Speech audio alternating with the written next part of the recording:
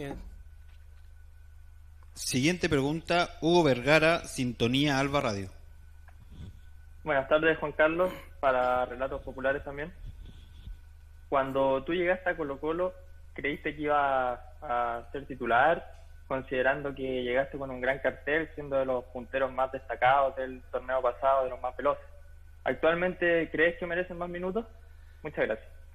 Hola, buenas. Eh, nadie llega siendo titular a un equipo, siempre se tiene que ganar el puesto y lucharla. Y seguimos trabajando para ser titular y si no,